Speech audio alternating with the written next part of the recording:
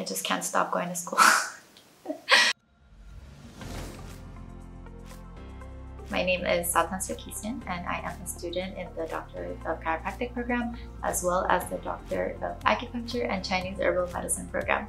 My family immigrated here when I was just six years old and it was my parents and my younger sister. Whenever anyone would ask me what I wanted to be when I grew up when I was younger, my answer has always been a doctor. And I'm so, so, so grateful that I'm, I'm reaching these goals that I set before I even knew what they really were.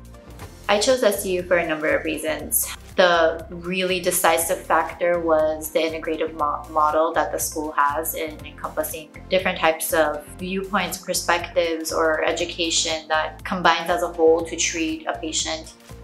The main thing that kind of draws me into chiropractic most is because of the approach and the relationship that the doctor and patient are able to establish. I would be able to spend that one-on-one patient time where I'm where I'm paying attention to what my patient is telling me, where I'm looking at different factors and I'm listening and I see them as a person and I want to treat them as a person.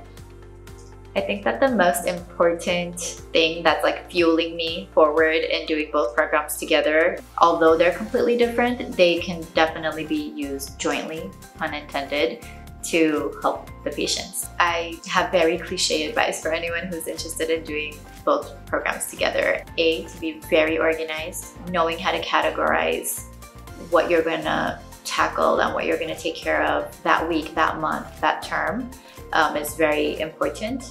And I think that the second thing is absolutely loving what you're doing. There's a lot of actual work to be done and if you're doing all of that with all the love and you're thinking about how you're going to be using each aspect of that day in the future for your future patients and treating them and giving them the best possible care, then you got it. You're going to do great in doing both programs.